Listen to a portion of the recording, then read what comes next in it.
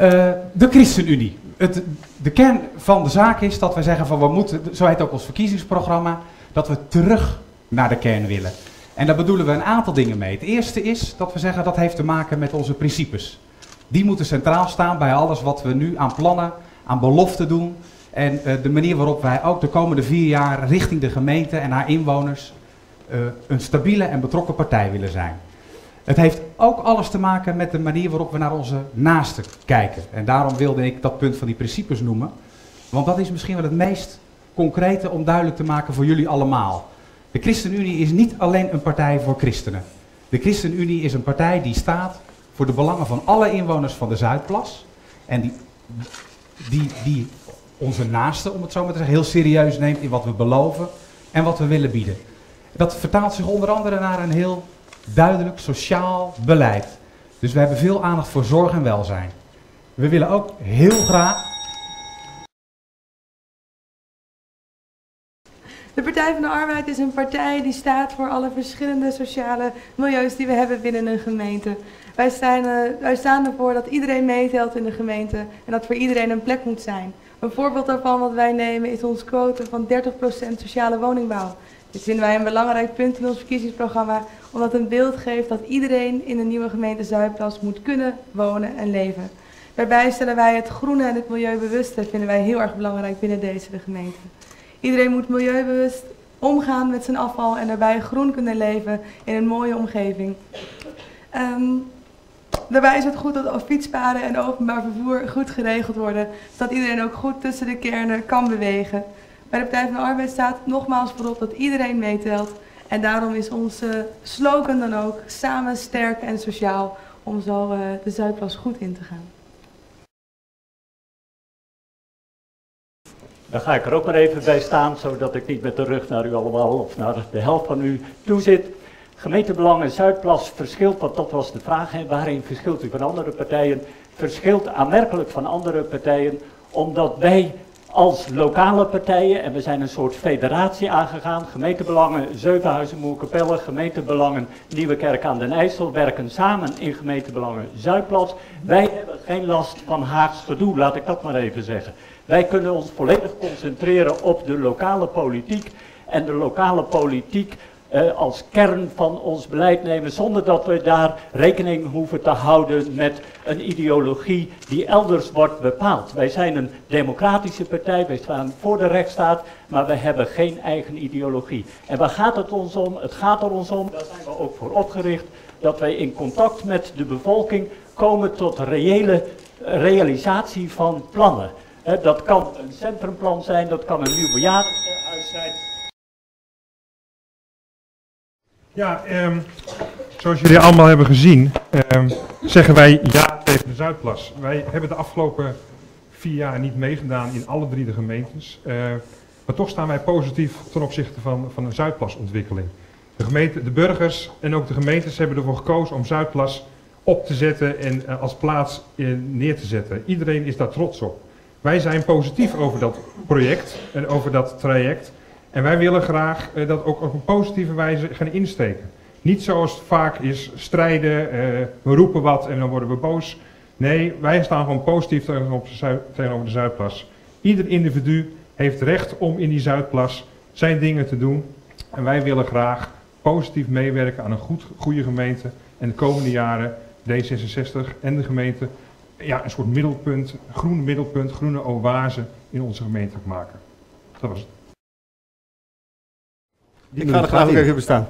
Uh, ik werd enkele weken geleden gevraagd of ik lijsttrekker wilde worden van Trots op Nederland. Trots op Nederland is een daadkrachtige partij. Dat is een partij die nodig is in de Zuidplas.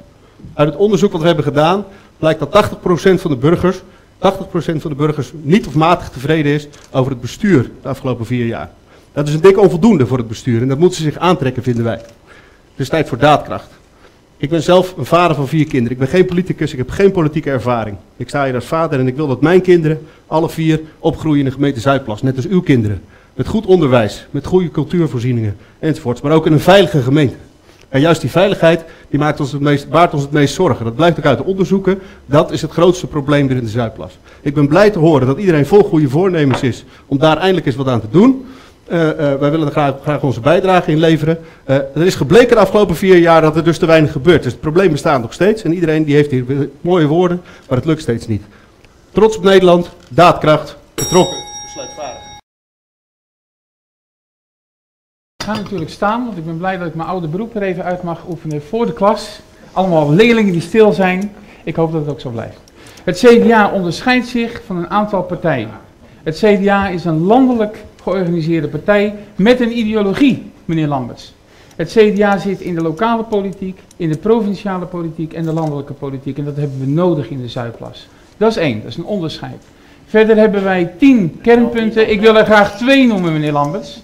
Eén, wij vinden dat we aan de voorkant van heel veel problemen over de jeugd moeten gaan zitten. En dat doe je door goede scholen te creëren en door goede sportvoorzieningen te creëren.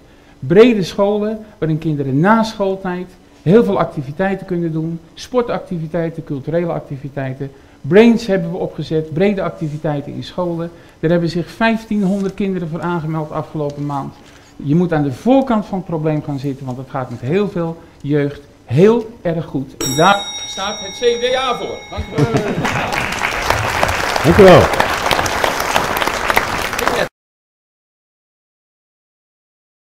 Ja, dankjewel. Uh, de Volkspartij voor Vrijheid en Democratie is een partij die de vrijheid hoog in het vaandel heeft staan. Altijd in samenhang met verantwoordelijkheid. Wij hebben een verkiezingsprogramma, een verkiezingscontract hebben wij dat genoemd. Dat stoelt op duidelijkheid. Wij hebben ons huiswerk gedaan. In ons contract staat wat u de komende jaren van ons kan verwachten. En dat zijn drie pijlers. Lage lasten, minder overheid. Wij zeggen een nieuwe gemeente, niet op uw kosten.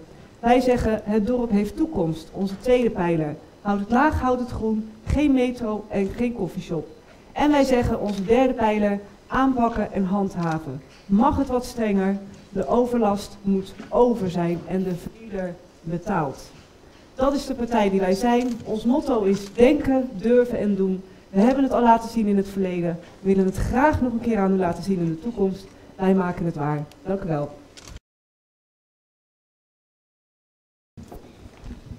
Als we deze staan, het minste was dat iemand uh, voor de neus staat. Beter Moordrecht. Oh. Waarin onderscheidt Beter Moordrecht zich van de andere partijen? Beter Moordrecht die onderscheidt zich daarin dat het een echt lokale partij is die opkomt voor de gemeenschap Moordrecht. Maar heeft ook inmiddels al contacten in andere kernen, onder andere in Moekapelle.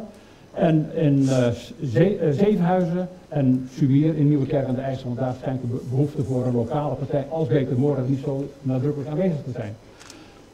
De burgers zetten wij in, uh, in onze verkiezingsprogramma centraal. Het moet helder en duidelijk zijn. En die moet transparant de gemeentepolitiek kunnen volgen. Wat ons het meest heeft gestoken is de, de onduidelijkheid rondom de keuze van gemeente Zuidplas. En dat heeft nu het begint te vormen van we moeten gaan stemmen, komt dat heel sterk naar voren. Want ze zeggen van, had de politiek niet anders kunnen besluiten? Want nu is bijvoorbeeld in alle voorzieningen, alles is een nieuwe kerk. Ja, onze campagne hebben we niet voor niets de frisse wind genoemd. En we willen in de raad gaan zitten met, met die frisse wind. Uh, de SP is van oorsprong een actiepartij en dat zijn we ook. En dat onderscheidt ons ook van de meeste andere partijen. Een klein voorbeeld van de laatste tijd waar we in actie hebben gevoerd is in Moordrecht bij een hele discussie over het gemeentehuis, wat in de toekomst moest gebeuren na de fusie. We zijn toen vlak voor het debat in de gemeenteraad uh, twee zaterdagen gewoon op de smidse gaan staan. We hebben mensen gevraagd wat, wat, wat zij vinden. We hebben ongeveer 150 reacties uh, verzameld, op papier gezet, aangeboden aan de gemeenteraad. En op die avond in het debat uh, zat ik op de tribune en eigenlijk, we, zit, we, zitten, we zitten niet in die gemeenteraad, maar die avond wel. Een voorbeeld van uh, uh, een manier van actie voeren binnen de, ik heb nog een paar.